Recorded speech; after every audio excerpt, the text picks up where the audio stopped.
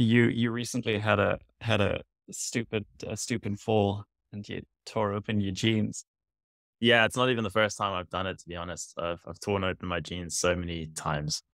I don't even know, like, I think jeans, the quality has just deteriorate, deteriorated recently. I don't know if that's a, something that's intentional or whether, like, maybe I'm too active. I think it's just uh, cheaper because if you think about it, like the reason that jeans came into vogue is that they were workman pants. But also, I have a pair of jeans and I didn't buy them all torn up. but They're completely torn up. You mean like they've like did you buy them torn up? Because no, I know there was no. a trend back in the 2000s where you had to have like this huge gaping hole in your knee. And actually, uh, in in England, there's quite a few people who haven't let go of that trend, where there's basically like people walking around with these huge, like barely, barely jeans. I call them. Uh, it's like yeah, they're very punk. Yeah, very punk. It's like yeah, you you you've got yourself locked into the into the 2000s yeah, so I had a full, and basically it was, yeah. So on the way back, so I was re- recently down in Cape Town for uh, whatever uh, reasons. I, I decided that I would treat myself on the way down because it's quite a horrendous flight to go from London to Cape Town. Also, like 16 could, hours? It's about 11, 11 hours. Okay. Uh, 11, 11 hours, but that's not taking into account all of the faff that you have to do to get on the plane. But I, I'm I'm trying to. So I've I've, joined, I've recently recently joined like the Avios Club or what is it called, the Ex- Avios Experience or the British Sky Miles or whatever. And so I've got this credit card, and this gives me Avios points. So what that means is that I'm kind of locked into one or two carriers. I was about to jump to the next level. So what I needed to do is get a certain number of points. But if you go with economy from British Airways from London to Cape Town, it only gives you a few points, right? Because if you go for the really basic economy class, you get like barely any points. So the way I calculated it is I would take a more upper class flight, which in my case is premium economy, because now they've somehow divided these two economy classes into more tiers. I would take the premium economy down. So I'd have quite a nice flight. And then what I'd do is to counteract that, I would go via Qatar Airways, which is a partner, on the way back. So Qatar, Qatar being going via Doha, Cape Town to Doha, Doha to to London. On the way down, it was really nice actually, and I told like pretty much anyone I met over the weekend, like it's it's basically what I remember in terms of traveling when I was a kid. When you used to travel as a kid, like you used to get into the economy class, you would sit down, they would give you a nice hot, hot towel, maybe like a little glass of water. Everyone would get that in the economy class, and it really was a really nice experience. You also had enough room. Being a kid, you obviously have more room than being an ad- adult. But yeah, you're a full adult.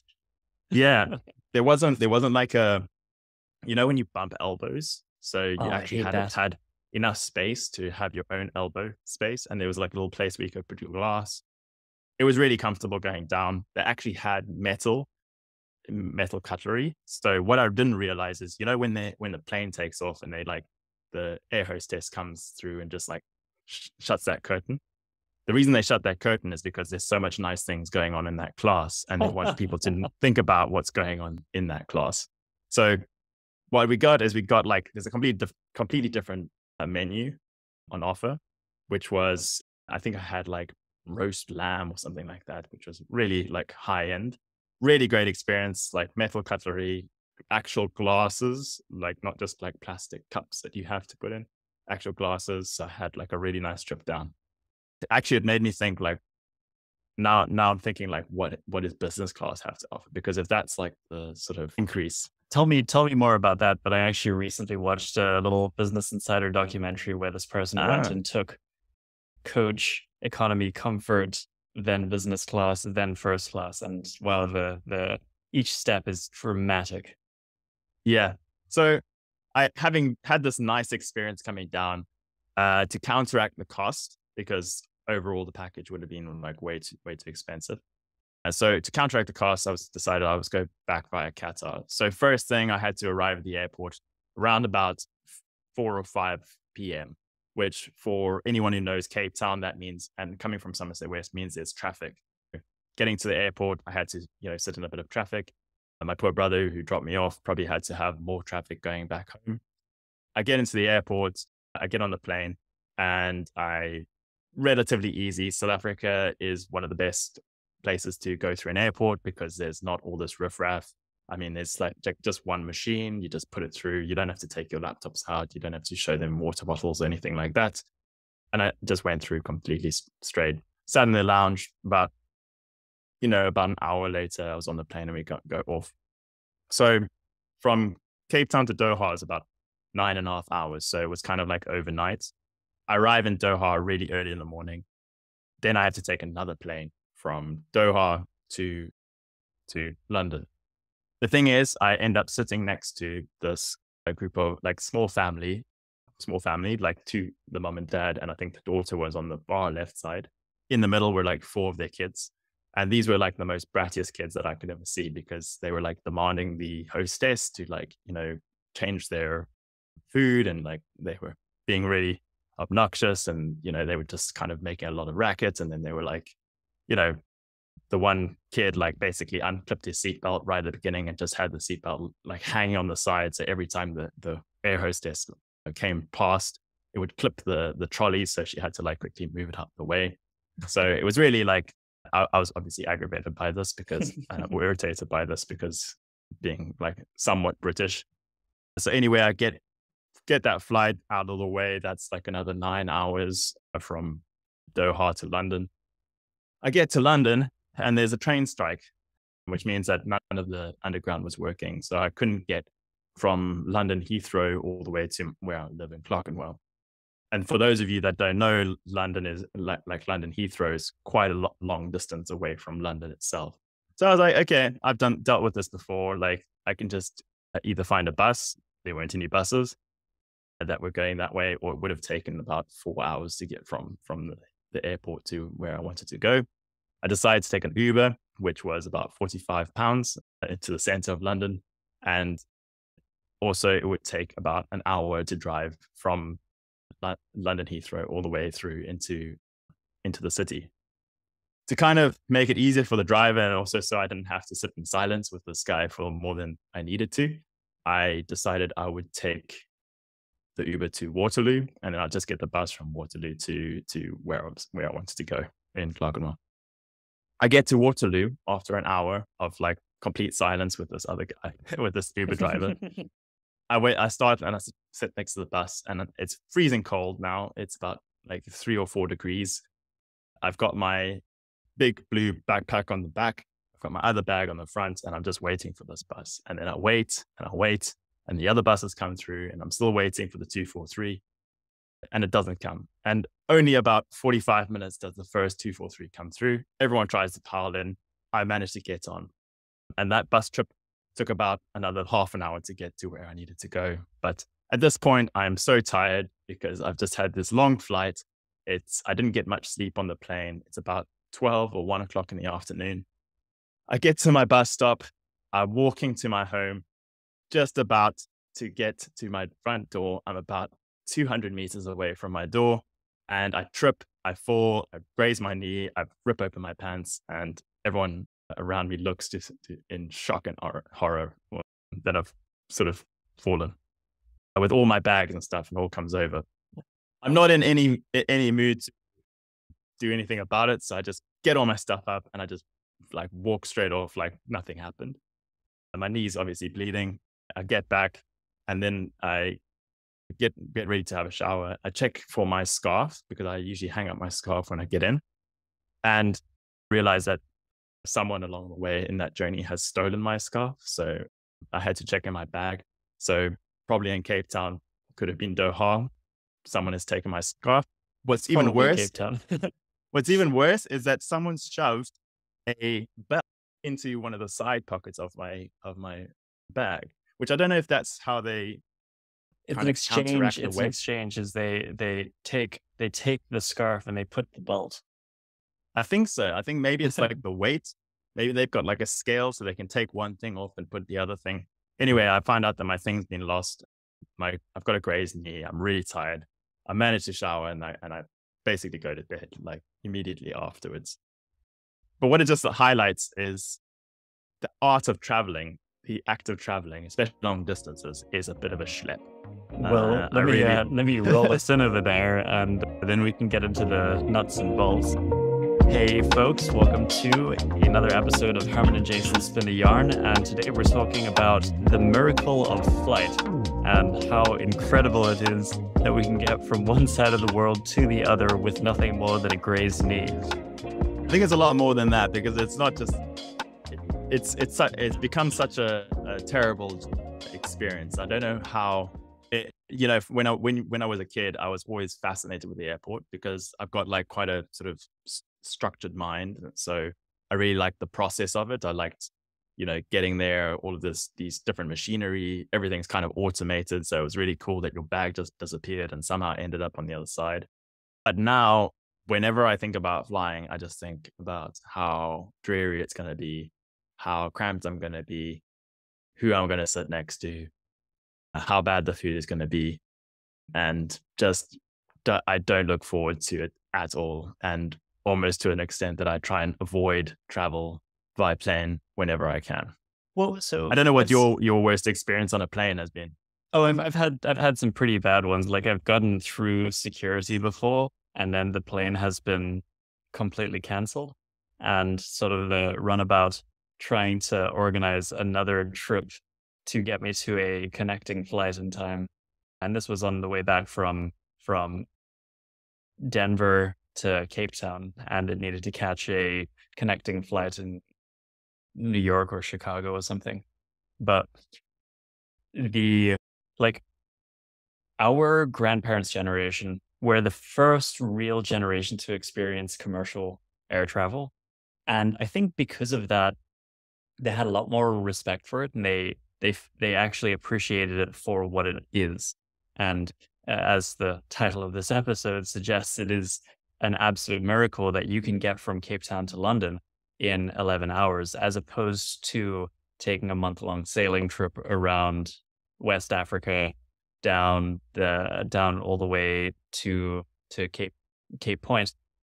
And uh, even even something like Uh, if you were in the Americas over, you know, 200 years ago and you wanted to get from the East Coast to the West Coast, is you'd have those big ox wagon journeys crossing the crossing the Great Plains, and a lot of people wouldn't actually make it across. It was a treacherous months long journey that you know you there's dysentery and there's wild animals and everything, and you know like ninety percent of you get there, but ten percent of you are lost along the way. I mean, I think there's a lot of parallels to flight today. I think there's there's pretty much the same. But uh, as like we were born into a much more mature airline industry where we kind of take it for granted. We take for granted the fact that traveling to the other side of the world is relatively cheap. Like if you are in the middle class, you can afford to fly to the other to the other side of the world, which is which is crazy. I mean, I've got a flight booked to Spain in May, and it like it's expensive, but it is still affordable. And it's something that I do appreciate, but I also don't look forward to the act of actually getting to the airport, getting all my stuff through security, making sure I've got the right documents, and then sitting on that airplane for for 11, 12 hours. Now, I, as I mentioned earlier, I, I watched that documentary about the different, the different classes of, of airline or of seats in the airline, and you've got your your economy, your your castle in the back, and then you've got your economy comfort, which is what you had, and then as soon as you get to business class, it starts getting real fancy, where you have access to like really nice food. Your your seat actually folds into a bed, so it doesn't just lie back. It actually they the air hostess will come and actually modify it into a bed when it's time to sleep. And you can stretch out because there's a little cubby where you can put your feet in. And you also have a little window that you can close between you and the person next to you and you're not bumping bumping shoulders on the armrest. And then it gets absolutely wild when you get to first class where it's like a mini five star hotel in the sky. You've got your own room, you've got your own recliner couch and a bed. and you have like the media center that you can chill on your couch and watch your media center. And then that swivels over to a table where they come and they serve you like what is considered, you know, fancy, fancy airline food. And you get your champagne and your wines. And so it's a, it's an overall really good experience. So you're like really traveling in luxury. But what I find interesting about that is that, and it's something that I am very grateful for, traveling in economy is not profitable to the airlines at all. It's it's actually considered to be a loss leader. And the more premium tiers actually subsidize those people who are who are filling up the back of the airplane. So I actually want to tell people that like traveling in business class is absolutely incredible. It's the only way to travel. And it also makes you a good person because the more people who travel business class, the cheaper the flight actually becomes. And we actually see this with, with flights. If they don't manage to fill up business class, the actual economy seats become more expensive because per, per square meter, these premium, these premium classes actually make significantly more money. It's actually quite amazing that it's almost like double just to get into the next level. Like, so British Airways, for instance, has I think four tiers. So they've got like the first class, they've got business, and they've got premium economy and economy. Qatar, on the other hand, just has economy, business, and first. But like if you look at the first class tickets, it's like astronomical. But I guess if you're looking at what actually goes into a normal flight, is that you have quite a lot of fuel that needs to be bought. You've got quite a lot of food that needs to be prepared. You've got like the staff, which are probably being paid per hour.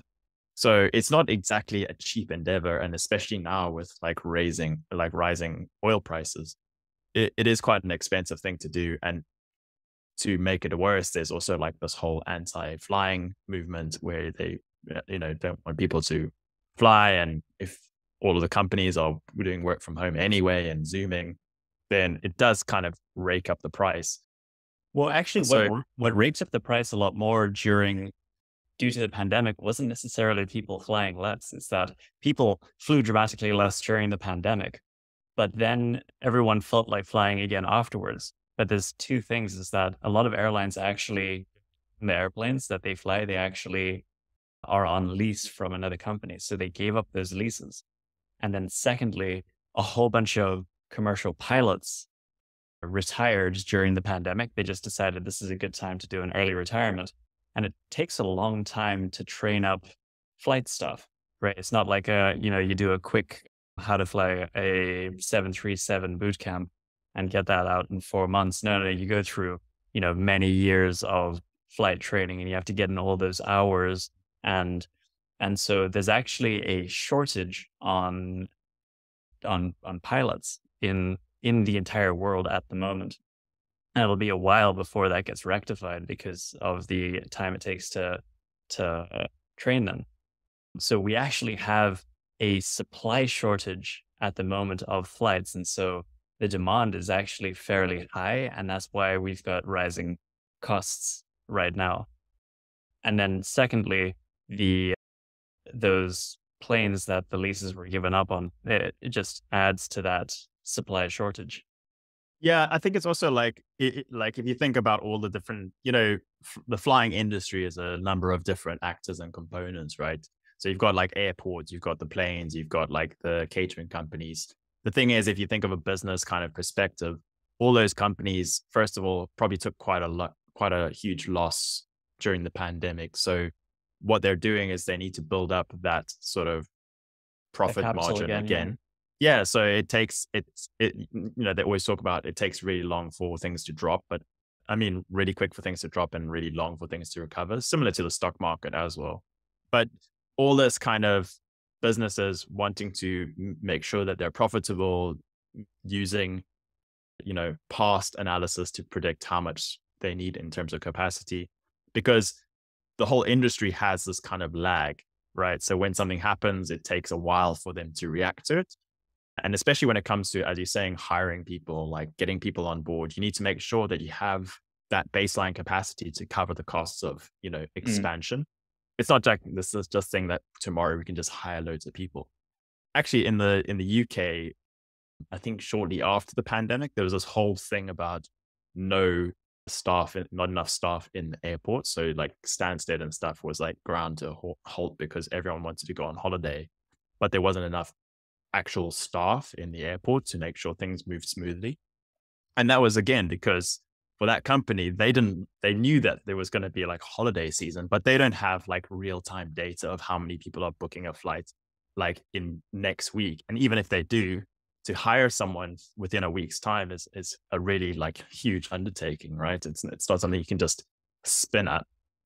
And I think the same thing applies to things like like hotels and and restaurants. I think there's been kind of like a lot of people that have moved out of the industry or a lot of places have closed down. And now as people are more diving into like going out going on holiday, going to restaurants, there's not enough supply and it takes time for people to think, oh, I'm going to start a restaurant. I'm going to, you know, open up a holiday resort to do some something that, and that takes time to build up. Yeah, and well, so the airline industry is actually a very interesting one because it uh, it overall isn't a particularly profitable industry. Yet it is a very, very expensive industry because you have to have all of that infrastructure. And I'm talking about the physical aircraft themselves and the staff and the airports. And it's also based on one of the most volatile uh, commodities that there is, as you said earlier, oil is if the oil price goes up 20%, that has a very big impact on the price of, of plane tickets. It, it has to. But also it's, it is fundamental for us to have this interconnected globe now more than, more than ever. And it's why we see companies, uh, airliners, regularly get bailed out by their respective governments because the government can't afford for there not to be an airline in that country and operating within that country because it is fundamental to the economy to actually have that interconnectedness that physical mm. interconnectedness not just not just digital but one of the things that i learned recently is that the airline, and uh, I'm talking specifically about American Airlines at the moment, but this applies to this applies to international ones as well. I'm just not too sure of the exact numbers. So like your your Deltas and your American Airlines and stuff, they're they are incorporated separately from their rewards program, right? And their rewards program, also known as like frequent flyer miles or just miles, is actually more significantly more profitable than the airlines themselves because as we established there's a very thin profit margin especially considering all the competition but what the airlines have done is they have created a currency that is redeemable for flying for flights because everyone wants flights right that they then sell to their partners like banks and credit cards and stuff like that and so they've created this digital currency that they sell that that they are also the central bank for. And they can just print this currency and distribute it. Now, let's take for instance, you are a bank and you have, you know, a thousand people who operate from your bank and you reward each of them for using your services with these frequent flyer miles.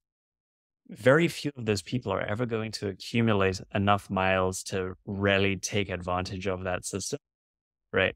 But you've already purchased those those miles from the airline. So the airline is essentially selling this currency that is only redeemable for airline for flights that most of them aren't actually cashed in on right so it's such a such a good business to complement what is essentially such an unprofitable business. So they've just found like another route to monetization.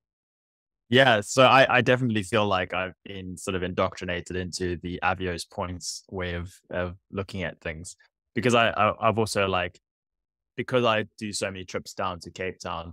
Actually, like on a tangent, there, there's actually now Virgin that does uh, like direct to Cape Town too which also also speaks to what you were saying about the diversity of airlines that are actually going to directly go to to Cape Town. But what I thought is like during the pandemic, I thought I'll be going to Cape Town quite a lot.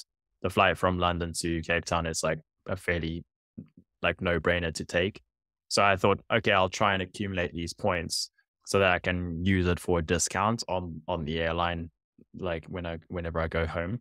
The problem is that it, it's so freaking hard to like actually accumulate those points. It it kind of feels a little bit like scammy in a sense because you kind of always like accumulating these points and you only get like okay, you get like 70 pounds off of flights if you're using Avios points to, as a discount, but it's not like 100 pounds. It's not like 500 pounds. And then you've got these these websites where you go on and it tells you like what is the best way to accumulate points. So apparently the best way is not to go on long flights, but to go on lots of short flights because you still earn the same amount of points. Well, relatively the same amount of points, but you you just have to take shorter mm, flights. And that changes from from airline to airline. Is that they they have a bunch of really good analysts who are sitting there trying to make sure that people don't game the system. Then you've got a whole bunch of yeah. subreddits that are sitting there actively trying to game the system. And so there's like this arms race between the the gamers and the analysts. Yes, but but my theory about airline miles is that it only and this is partly why I took I took like a premium economy is because I think that uh, once you get to the next level up, I think in the basic level, the lowest level, it's very hard to accumulate points. But you know that thing in life, you know, as you get more wealthy, you tend to get more things. Mm-hmm. What I've noticed is that the amount of points you get for uh, traveling business class and for traveling like premium economy and traveling first class means that you also accumulate points a lot, a lot faster. So what I think is that once you start to take a few like business class flights, you first of all you're you're paying for those flights which are more expensive. So your credit card can also act as a way of accumulating more points and you actually get rewarded more for taking a more expensive flight. So I think once you get to a certain uh, level where you're taking business class all the time, I think you accumulate points way faster, almost to a point where it's actually worthwhile having yeah, them. That makes but then sense. anything below that, like if you're just flying economy, because even with economy, like you can't even upgrade using points, right? Because they, they're like, oh no, you can only upgrade if you premium economy. So it's really like this kind of false incentive. And as you say, maybe it is because people want you to just, it's just like a loyalty card, right? You just want them to keep on coming. But I think, I, I don't know if I'll ever be able at, at that point, will I actually be able to test it out?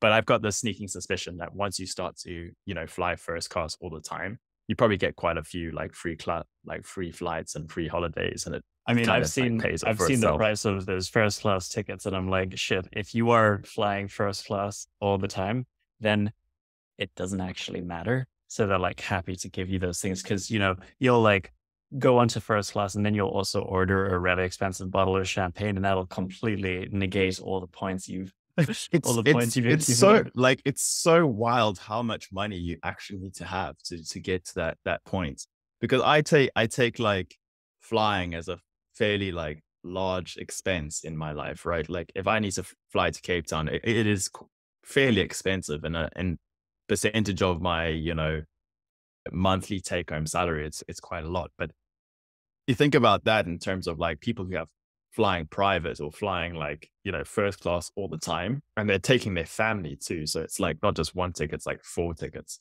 I'm just like, whoa, you must be like like mega wealthy. Yeah and then you just like, as you said, throwing in the champagne and you're like, oh, I'll have the caviar at the airports. And actually, speaking of airports, the other thing that I noticed, um, because I've been flying a lot in the last couple of months, is there's actually so many fancy, like if you go into an airport, there's like designer clothing stores, there's like really expensive Rolex watches, there's perfumes. like all the, they love selling perfumes. Perfumes, but I'm like, who's buying all this stuff, right? So I, I was thinking about it, and my this is another maybe a conspiracy or maybe like my own theory. It's actually a way that you can convert money between different currencies in a much more effective way than using a foreign exchange. Because if you're wealthy and you want to get money from like London to India or you want to get from London to another country, what you can do is you can go to the airport, you can take your money you can buy something really expensive go like something expensive with like a certain designer value, go to your country, you just carry it under your arm. And then you get to that, get to the country where you're going and just sell it on the other side and you get your cash back. So I think that the, the those expensive clothing stores are actually just a way that people can convert their money or get money out of the country without having to carry physical cash.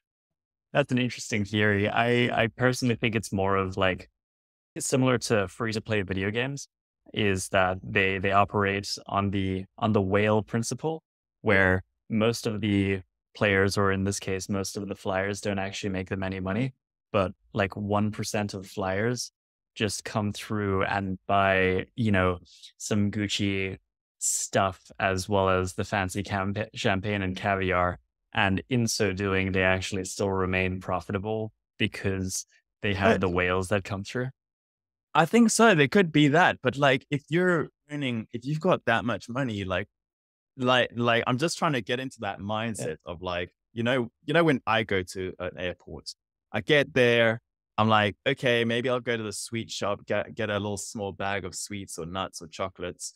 I'll go into like the the boots or the clicks, and I'll just like uh, get like you know a couple of you know tissues or something and that's like, maybe I'll get like a stereo stumping or something that I'll have in the airport. So those are kind of like small items that I just like buy at the airport. Are these wealthy people going in and like, oh, I'm just to like just buy a Rolex, you know, while I'm here? It seems like it's on sale. That is actually um, fairly interesting. And it's also like a pretty good way to, I don't want to say launder money, but like if you go to a new country, you always have to declare if you have over X amount of cash, right? So if you have $10,000 in cash, you have to declare that. So it could be that you are visiting South Africa to make some off the books mining money, right? And then you yeah. get to the airport and you've got $10,000 in cash. What you do is you go and you buy yourself a Rolex and some Gucci, some Gucci or a Gucci handbag. And what you have over there is now ostensibly ten thousand dollars worth of product. Yeah, that yeah. makes sense to me. That makes sense to me. Yeah, because you don't you don't have to you don't have to declare your Rolex when you go to yeah. to the new country, but you do have to declare the cash. Yeah, I also thought it was something to do with money laundering, but it, it's just like it doesn't make sense because if you're wealthy enough, why and you in London, like you can go to like Harrods or you can go down to like Oxford Street and you can go to like a really nice Rolex place and get like a really nice experience. Like, why are you going to the airport to go get a personal shopper? Because in in Heathrow, at Terminal Five, they're like, oh yeah, there's upstairs you can go and have your personal shopper. Who's getting a personal shopper in the right. airport, man? Like so, that that sounds so like sad. So let's let's change let's change tracks a bit over here. Traveling between Johannesburg and Cape Town in South Africa, or just local flights in general, we've we've kind of touched on them before in our in our episode about trains and how dope trains are. But it, it takes two hours to fly from here to to Johannesburg, and it's actually a fairly hassle free flight. Like I can I get to the airport, take an Uber to the airport in half an hour, and then my brother or I hop on the Gautrain from the airport in Johannesburg, and that's a let's say overall three hour experience, which is pretty pretty good. And then there's also something to be said about how efficient and cheap flights are comparatively. So the the thesis goes something like this is that if you have a brand new settlement, like let's take for instance, we go and we start a new town somewhere in South Africa that isn't connected to any of the rail infrastructure, right? it is really difficult to connect it to the rail infrastructure because you have to get all the land between there and the closest rail point, and you have to construct that infrastructure. However, building an airport, you just need a plot of land that you can put down one kilometer worth of worth of asphalt on, and boom, now it's connected to the ten thousand airports that are in the country. So it's actually like a really, really efficient way to build infrastructure and if we don't take carbon emissions into account, and we can talk about that in terms of like what the future of, say, biofuels holds for that, because there's no real way to electrify flights just yet. But if we if we don't necessarily take that into account, it is arguably the cheapest way to get around as well because the infrastructure necessary to get from point A to point B is so is so simple. Hmm. Yeah. The one of the things that I, that struck me recently about like inter-country travel is I think in France they've actually like banned because they've got such a good rail network, they've banned flights within France itself. Obviously for, for carbon emissions places, but I think we've done the math before, I think on the show that it's going to take, it would take too long to get a train from Cape Town to Johannesburg. But I do think of like a future where, you know, maybe South Africa is more populated in areas that maybe aren't as populated now. And airports are eh, ex- like usually the most efficient ways to get places other than like a helicopter, right? Because if you had like helipads where wherever you could kind of and you had enough money, you could probably do, Uh, you know, vertical takeoff and landing kind of mm-hmm. systems, and you wouldn't have to even have a strip of land to have a runway, right? You could just like sort of take off wherever. But I do envision this kind of future where you know, flights being a little bit more. It would have to be a little bit more efficient in terms of like the emissions, but what really impresses me when I go through Cape Town, especially on the the departure side, is that you can actually get pretty much anywhere relatively easy from from Cape Town itself, right? Because like they've got like a direct flight to Washington, they've got like a direct flight to Newark in New Jersey. I think there was even one to, is it like not not Austin, but somewhere somewhere in America, Dallas. No, there's Atlanta, Atlanta. Ah. So, so, so they've even got like flights to Atlanta and those kind of things, which I think it's pretty long haul. I've actually done the Cape Town to Newark, which which is pretty hectic flight, but it, it, it does give you at mm. least you know one hop to there, and then another hop to San Francisco, and another hop to Austin, or another hop to potentially you know Seattle or wherever. You can also get to London directly. There's actually now two carriers that do that. You can, I mean, via Johannesburg, you can actually get to Sydney. I, I don't know if Qantas has reopened that flight, but that interconnectivity on a global scale is actually really good to know because if you like, you know, an up up and coming like entrepreneur and you want to start doing business with the United States of America, then it's quite handy to be able to just jump on one flight and, you know, no matter what class, you know, get to that that country and be able to, you know, do a little bit of business in a more sort of South African way, which I think is quite quite interesting and quite exciting about just travel in general and seeing some of the trends in terms of like the number of routes that have been open for everyone in South Africa. And not just that is the the distance that we can travel on some of the newer planes. So during the pandemic, and I forget which countries this this was exactly.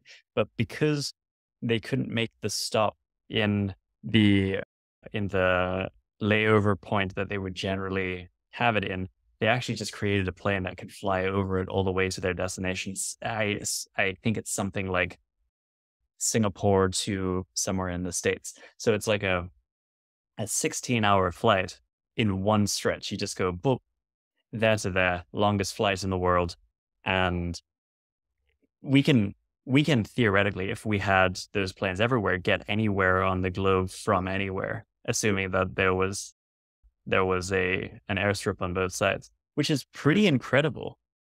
Herman, I've had the best idea. So some like taking some of what we talked about in our last episode, like what about a future where instead of just having this little shitty screen that you have to watch like old movies on, you actually had like a, a VR headset and so while you're flying, you're actually like sitting in a nice, like, you know, oasis village this, or you're sitting this sounds somewhere. So cyberpunk is like, it, you just see like a whole bunch of people and you're in like a shitty, you know, it's like the London underground and everything is rattling and dingy. Yeah.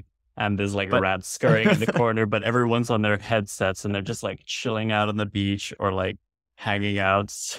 this is what yeah. the metaverse was designed for.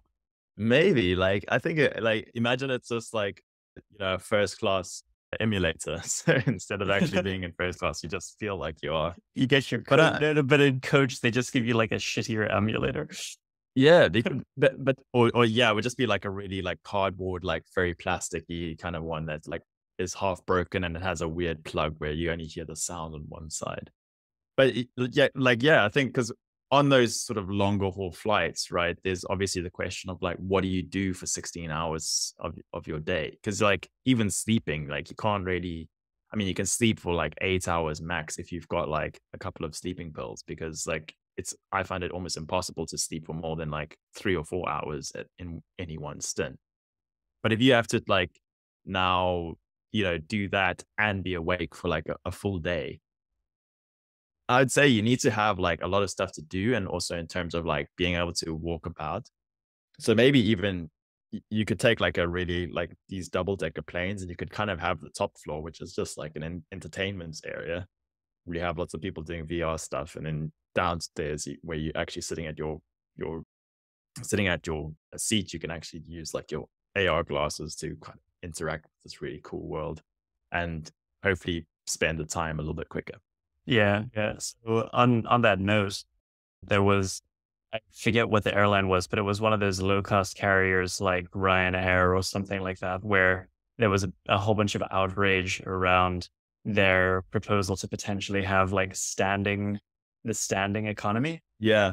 My my bro- my brother's adamant that they're going to bring that in at, at some point in the near future. Of like if if regulation allows it, of course they're going to bring it in because while we as humans rarely like to complain about about economy, about economy class, is economy class is so aligned with the cost of the service itself, right? And people will regularly like pretty much everyone who isn't fairly wealthy will try and find the cheapest flight. And if that means that you're going to be standing for that flight, is the market will validate this idea 100%, right? Is like if you can fly to Joburg from Cape Town for, you know, 300 Rand instead of 600 Rand, uh, but you have to stand for two hours, people are 100% going to do that. And like, sure, they'll complain bitterly about it, but they got to Joburg for 300 Rand. And yeah. I think that this is this is the whole this is the whole sort of mentality that we've been talking about for this entire episode is that like yes it sucks to sit on a plane for 12 hours to get from cape town to london but it is significantly better than the alternative and 100% worth it is there's there's no other options. You're you're you're paying a reasonably inexpensive amount for what it is that you're getting, and it's just not particularly comfortable.